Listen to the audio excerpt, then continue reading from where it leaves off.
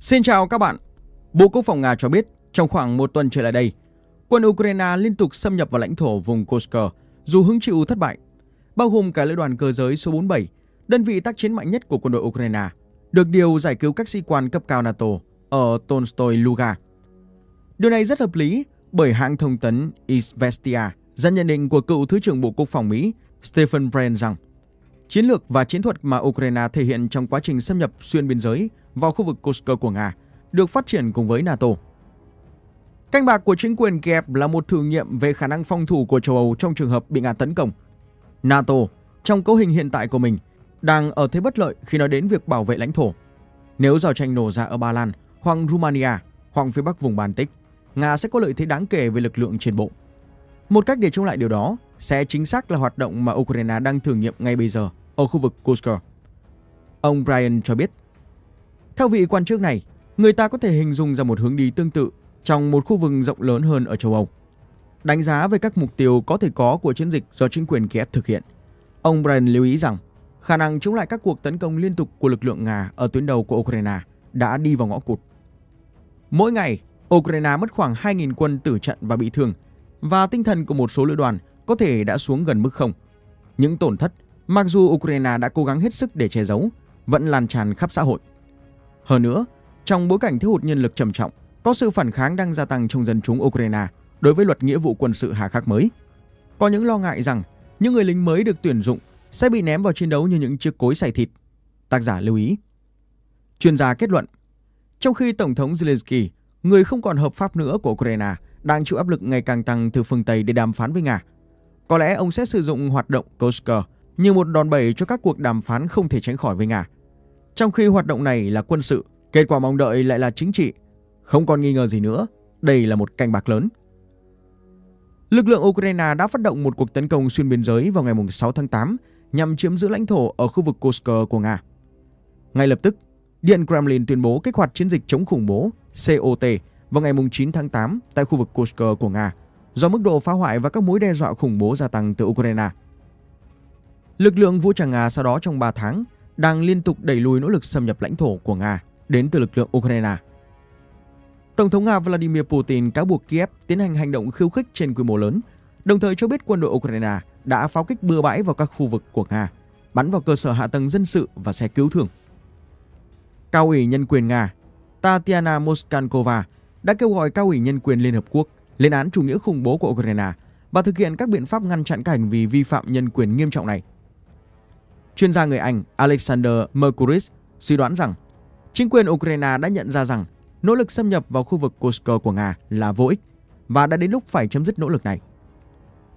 Có lý do để nghĩ rằng cuộc tấn công của Ukraine vào Kursk đang bắt đầu thất bại và có thể bắt đầu đảo ngược Ông chỉ ra các tuyên bố trên phương tiện truyền thông của cựu Bộ trưởng Quốc phòng Ukraine Andrei Zagorodnyuk và Mikhailo Podolyak. Dường như chỉ ra rằng chiến dịch Kursk được kẹp lên kế hoạch từ trước, được hình thành nhằm mục đích chuyển hướng quân đội Nga khỏi các khu vực đối đầu khác, nơi quân đội Ukraine đang cận kề thất bại. Nhưng hoàn toàn không có bằng chứng nào cho thấy điều đó đang xảy ra ở bất kỳ mức độ nào và bất kỳ lực lượng nào của Nga đã rút khỏi tiền tuyến. Mercuris nói, đồng thời nhận xét rằng nếu thực sự đó là một phần của kế hoạch thì nó đã thất bại. Ngược lại, mọi dấu hiệu đều cho thấy cuộc tấn công vào Kursk đã làm cho tình hình trở nên nghiêm trọng hơn. Chuyên gia này cho biết, hiện cụm quân phía Bắc của Nga đã đánh bại đội hình của các lữ đoàn bộ binh cơ giới 22, 41, 103, 112, 115 và 129. Lữ đoàn biệt động 17, lữ đoàn xung kích đường không 82 và 95, lữ đoàn thủy quân lục chiến 36 của quân đội Ukraine ở các khu dân cư Darino, Nizhny Klin, Nikolaevo, Darino, Novoivanovka và Plekhovo thuộc tỉnh Kursk của Nga. Hiện có rất ít thông tin cụ thể về chiến sự trong khu vực, nhưng theo thông tin của cụm quân phía Bắc, quân Nga đã đạt được tiến bộ đáng kể ở phía nam quận Suzhansky. Tại Plekhovo, quân Ukraine đã bị đánh bật ra khỏi ngôi làng ở phía tây bên kia sông Persen và khu vực các đồn điền xung quanh. Quân đội Nga đã sử dụng cả bom lượn có điều khiển và pháo nhiệt áp hạng nặng TOS Kênh Telegram SV đưa tin, quân Ukraine đã không thể thực hiện các cuộc phản công lớn tại khu vực trên, trong khi hỏa lực chi viện cho bộ binh hạn chế. Quân Nga tại đây đã loại khỏi vòng chiến đấu 20 lính Ukraine, phá hủy một xe chiến đấu bộ binh và một khẩu súng cối 120mm. Tại ngôi làng Novoy Vanovka, nơi đã xảy ra các trận đánh ác liệt giữa hai bên, Viện Nghiên cứu Chiến tranh ISVK xác nhận ngôi làng này nằm trong quyền kiểm soát của quân đội Nga. Trong khi đó, lữ đoàn bộ binh cơ giới số 47 của Ukraine không thể đột phá đến Tolstoylak và về phía tây bắc theo hướng làng Kremchanoye để giải cứu hàng nghìn quân Ukraine đang bị bao vây ở khu rừng Ongovsky. Hiện có thông tin cho rằng Bộ Tổng tham mưu quân đội Ukraine phải trực tiếp điều hành lữ đoàn nắm đấm thép của mình với vũ khí hiện đại tấn công vào các vị trí nguy hiểm để cứu một nhân vật rất quan trọng, có thể là một sĩ quan Mỹ cấp bậc không thấp hơn đại tá. Tuy nhiên, nguồn tiếp viện đang cạn và thời tiết xấu sắp xảy ra. Nhiệm vụ quan trọng này được tin tưởng giao cho lữ đoàn bộ binh cơ giới số 47.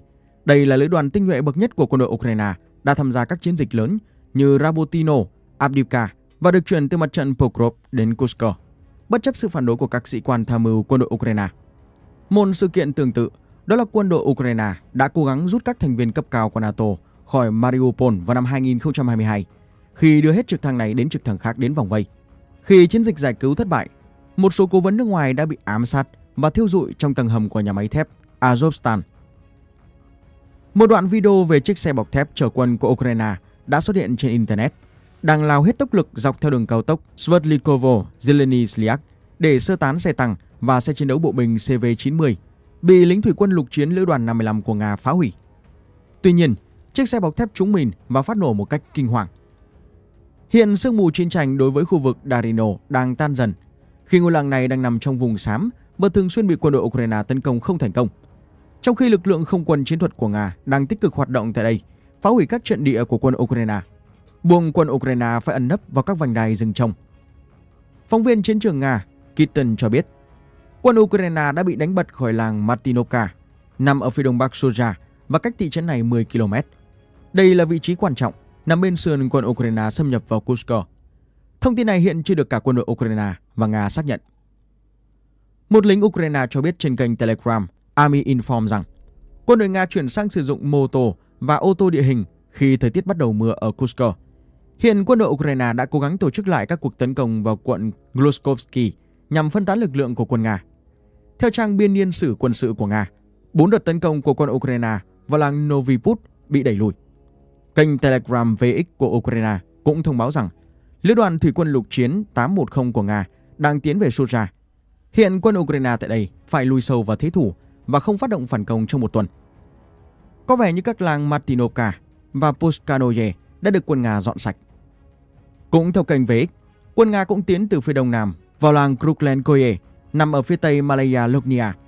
Như vậy có thể thấy, nhóm quân Ukraine tiếp tục bị bao vây ở khu vực Pokrebkov và một cái vạc thứ ba khá lớn do quân Nga thiết lập đã xuất hiện ở khu vực biên giới Kursk. Song song với việc chiến sự diễn ra ác liệt ở khu vực Kursk, thì truyền thông Ukraine và phương Tây đang cho rằng lực lượng đặc nhiệm Triều Tiên đã có mặt ở mặt trận Kursk để thay thế lực lượng đặc biệt Akhmat của vệ binh Chechnya. Thậm chí một số kênh Telegram của Nga cũng đồng ý với thông tin này. Theo chuyên gia quân sự Nga Roman Alekhin, hiện nay hai lực lượng chiến đấu hiệu quả nhất ở mặt trận Kursk của Nga đó là lực lượng đặc biệt Akhmat do tướng Ata Alaudinov chỉ huy và lữ đoàn thủy quân lục chiến 155 của hạm đội Thái Bình Dương.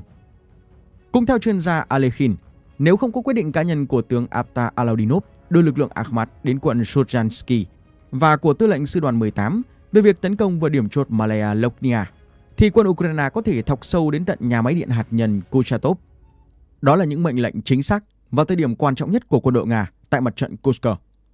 Cảm ơn các bạn đã đón xem video. Nếu thấy video hay và thú vị, đừng quên nhấn like và đăng ký ủng hộ đội ngũ kênh. Còn bây giờ xin chào và hẹn gặp lại các bạn trong những video tiếp theo.